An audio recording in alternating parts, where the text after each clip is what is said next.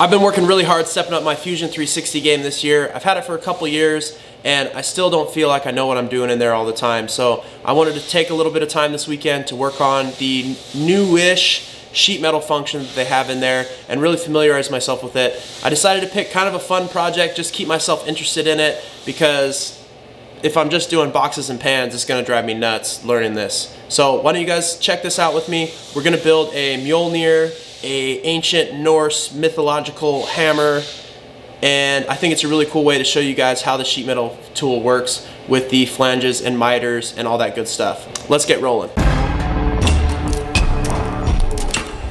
I'm not going to go into how to navigate around in here so much. Uh, I'm really going to leave that up to you guys to kind of learn the basic functions here plenty of YouTube videos on those, but what I'm excited about is the sheet metal function right here. So the first step you want to do is go over here to modify and select sheet metal rules and this is where you set your thickness, right, of your material. So we're to do 1 divided by 16 because it's 1 16th gives us 0.0625 inches. So come back over here and we're going to put 0.0625 inches for our thickness of material. The bend condition, relief width, so this is where you set your opening, I guess, between flanges. This is basically your weld joint that you're setting up here. I'm going to set this back to thickness right now, and I'll come back here and show you guys later what that does exactly. It'll make more sense a little further on in the build. So we got our thickness set here. It automatically does the K factor. Let's close this out. And now we're ready to start drawing. So let's pick this top origin right here. And we are going to create a sketch there. Now we're going to pick two point rectangle. I have my units default set to inches. So you see right here where it's, prompting me to write in inches. The plans I found didn't have inches, they had metric. So what you guys can do here is you can just straight up, see I was trying to say 103 inches. If I just type in mm millimeters, it automatically figures it out. Tab over to my other dimension, 163, not inches, mm, millimeters. Oh, I accidentally typed an extra letter in there, mm. Now it knows what we're talking about here, right? So now that you have your shape set up, we're going to not extrude this, but we're going to create a flange. Usually you'd hit E, arrow here, and you'd pull this thing up as far as you want to go. But this is looking towards those sheet metal instructions we set up over here uh, for the thickness instead of using the extrude tool. So we just say we want a flange. So here's our flange.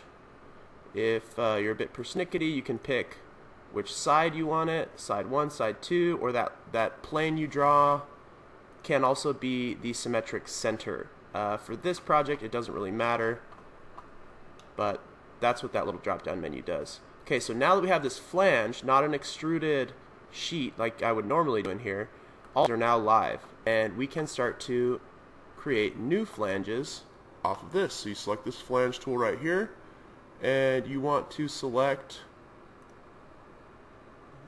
the edges you want the flanges to start at.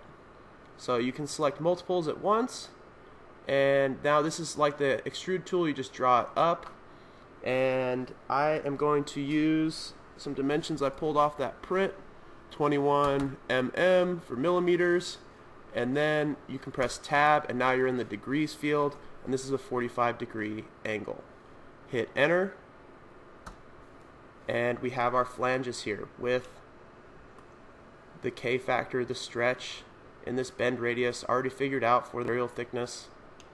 Pretty amazing. So where do we go from here? We need some more flanges. So let's work this guy up. I'm only going to do this on one side here. Oh, and let's check this dimension. Yeah, 103, same, same. Okay, we're going to do 103 millimeters up and then tab over 45 degrees. We got our next flange. Let's do another one. We're going to work our way all the way around. come out 21 millimeters, just like the other corner, tab, 45 degrees, and enter. New flange, pick our corner. See, if I pick this outside corner, it's trying to draw it that way. I'm gonna pick this inside corner, it'll just make my life a little bit easier. There we go. So now same, I can go 103. Oh, I gotta drag, start dragging this first. So now I got 103 millimeters, tab 45 degrees, and we're slowly working our way around here, guys. Starting to look like something now. Drag this down. What are we doing again? 21 millimeters, tab 45 degrees, enter and we got one last side to do this is looking nice one more flange.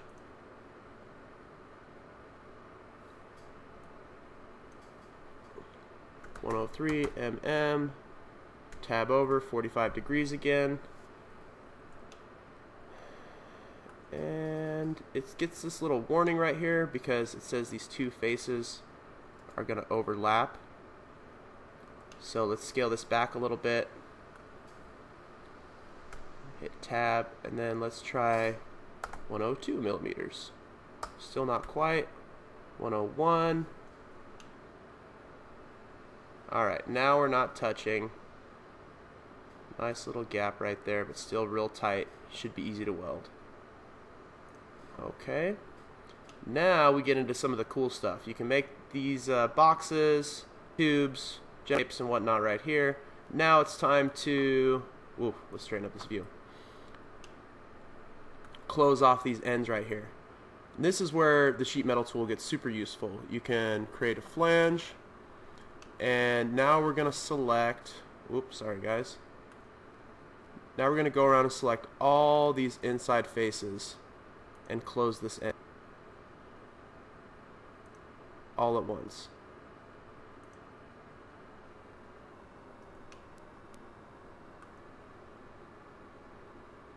this guy, this guy, and this corner right here. Alright, now you see as we start pulling this up, it automatically miters all these corners for us, which saves you tons of time. Good lord, I couldn't imagine like flanging this out and then going into a drawing and trying to sketch out all these profiles and then make them work in the bend. Yuck. What a mess. So what we do here is this is 33 millimeters and tab over 45 degrees. Looking pretty nice. Hit enter. So now I'm going to go back and show you guys, actually let's go over to the other side real quick and just get this taken care of. Same, same flange tool for anybody that missed it pick all these inside edges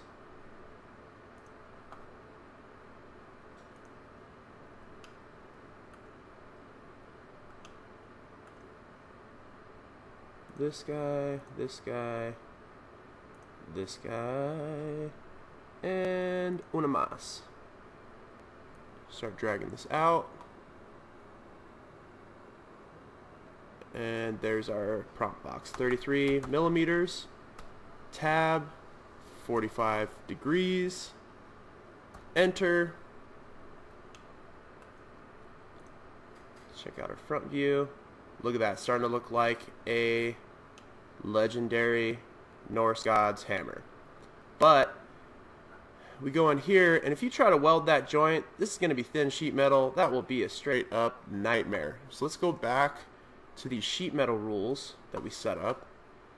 And this is now defaulting to millimeters. I'm not sure what's going on there but it all works the same. So we'll go into edit right here this little pencil tool. And now you get your rules. So what I'm looking for here is this relief width. And that's the space between the flanges. So I'm going to put in here, basically you can treat this like an Excel cell and you can put math in here. So we're going to do thickness minus 2 millimeters. So it's saying we're at 2.5 millimeters right now. I don't totally want to close that gap. We need to have some margin of error in there. But as I hit save, watch what happens to this joint right here any moment now. Close.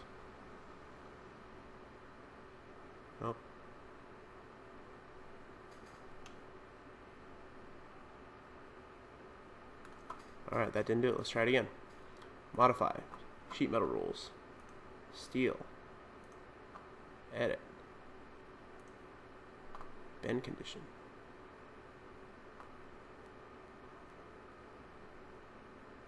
Oh, I put that in the wrong spot, guys. Let's go back here. Miter slash rip slash seam gap thickness minus 2 millimeters. Basically just put some math in there. Save. Ah, there we go. See how it closed up all these gaps right here? So now we have really nice tight fit up. After we put that in the bender, we should be in good shape. Now, I gotta find that seam that I put in here originally. I believe it is, yeah, down in this corner right here.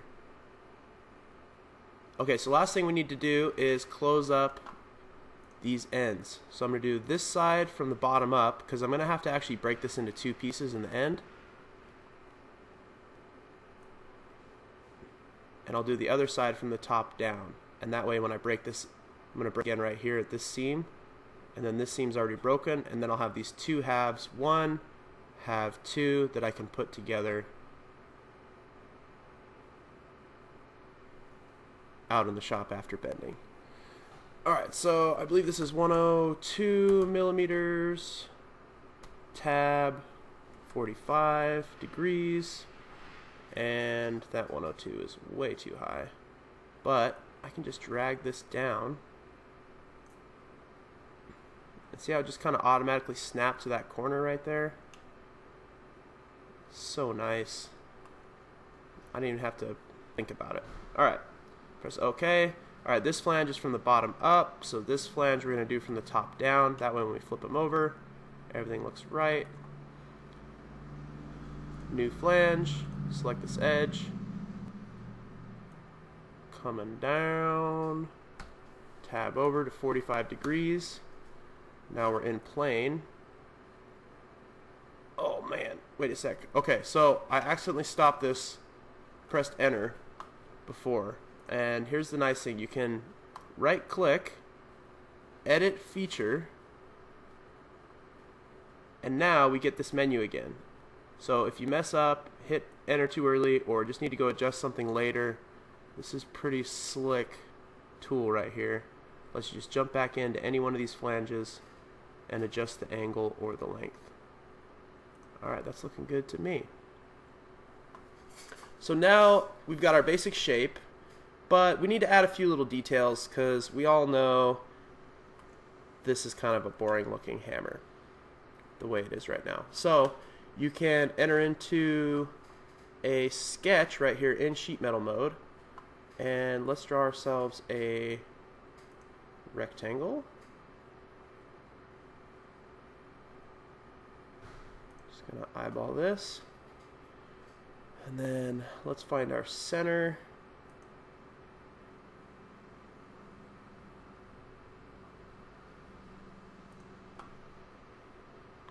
Come on.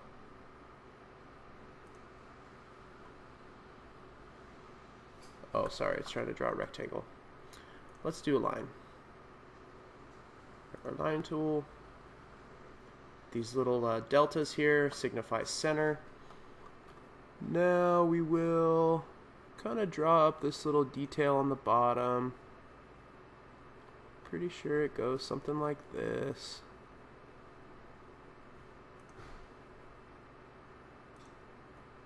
Okay, and now I want to match this feature right here. I'm going to hit escape to get out of this line tool and stay in sketch. Now I'm going to select this line, hold shift, and select the rest of this line. I'm going to go back to the sketch menu, hit mirror. Got these three objects already selected. Now we're just going to select our mirror line, which is the center, and bam, matchy matchy. From here, now we can select this, hold shift, select the other side, we got both of these, and now you can just use this like your regular old fusion, what do they call this, model, and we're going to hit extrude, E, and push this feature all the way through. And now we kind of have that cool side detail. It's going to help sell this look. Okay, as we cut through. Alright, so now we've got some end detail. Let's come up here to the top and same thing, create a new sketch. We're to need to put a little circle in here, so I'm to hit, oh, actually L for line. Got our delta for center.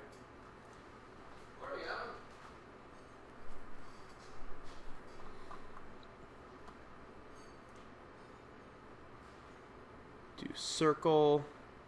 I like this uh, center diameter circle because I can usually snap here, find the new delta, and one inch should be plenty to get some weld in there from the back side. Now we're going to select this face, hold shift, this section as well. Again, hit E for extrude. Make sure this drop down menu right here is set to cut and then push this feature all the way through because we want a top and bottom. One for the handle and one for this little circle that sits on the top. Okay. Now we'll go back to this sketch.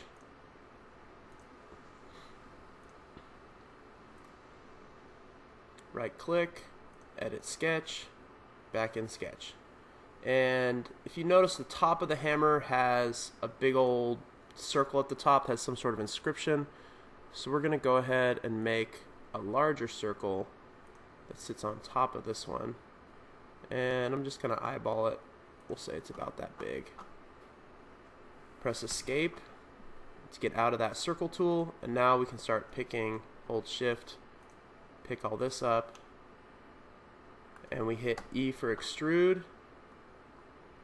And instead of a cut, I want to make a new body because this is a separate feature we're going to cut out all on its own. And we're going to make it, what was our material thickness? 065, I want to say. No, no, no. Backspace, 0.065. There we go. Click OK. Now we've got that little dot on the top. And last thing we need to do here is we need to make a plate to go behind this one to kind of close up the space and give us that little extra texture and depth. So we'll go back here to this sketch, I believe. It was over here on, oh, I go all the way past it? Uh-huh. Alright, right click, edit sketch, and now we can do another rectangle and we just need it to be bigger than this blue rectangle and smaller than the outside edge of this. So I'm just going to pick something in between.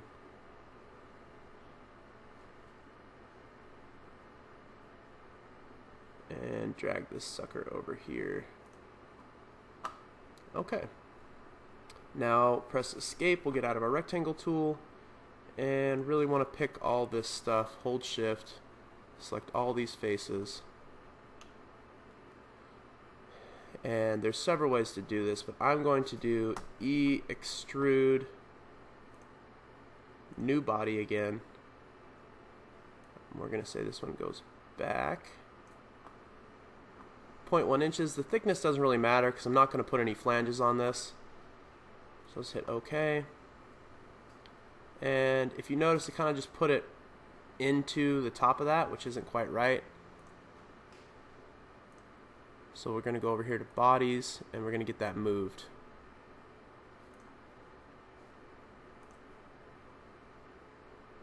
If I can get this drop down menu to work. There we go. Here's body 3. So we'll select it right here.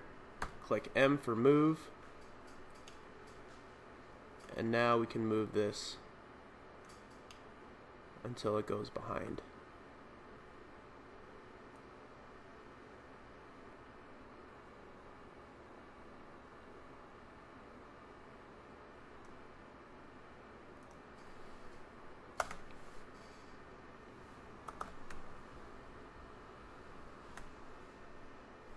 There we go. Okay. Now we've got this plate in here.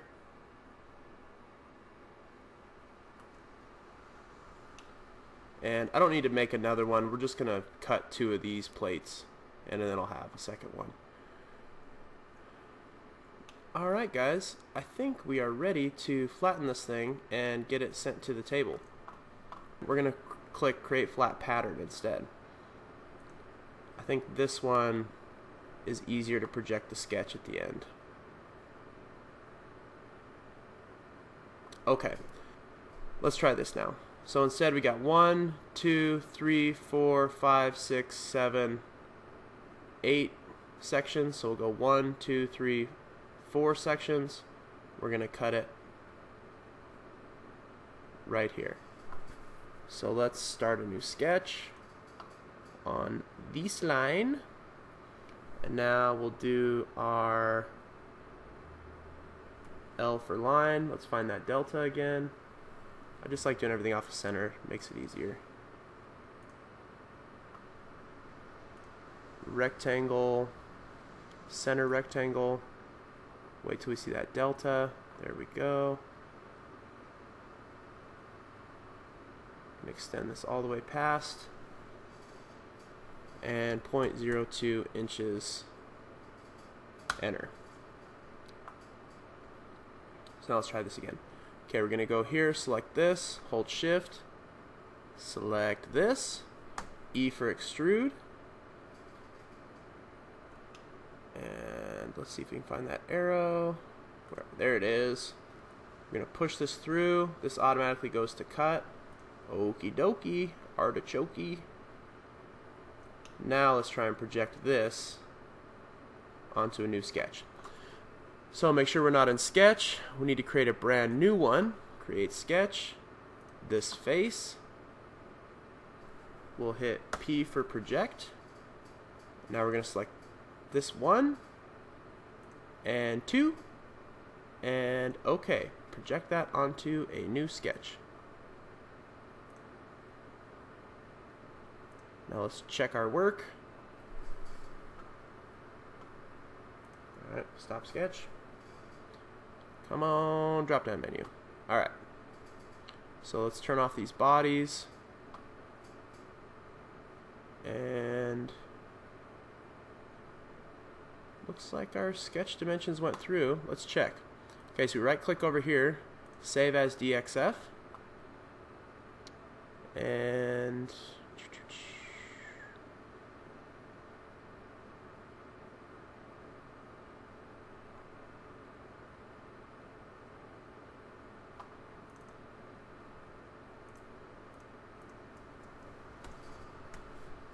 Save this DXF. Now we can go over to our cam, import,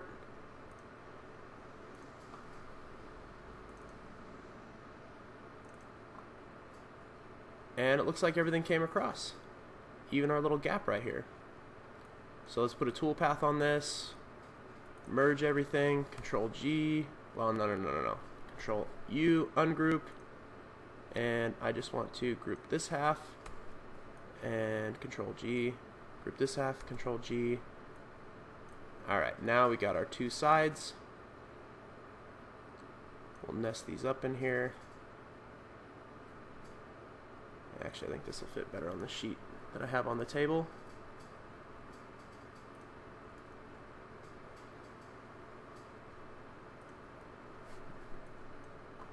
Alright, toolpath kerf compensation. Here's where you guys are going to have to set up your own settings on your plasma.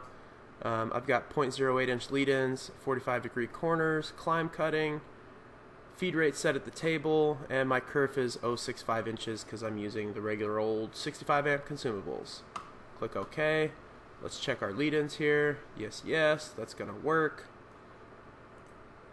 Output to file. February. Let's call this Thor Hammer. Alright, now we're ready to go to the table.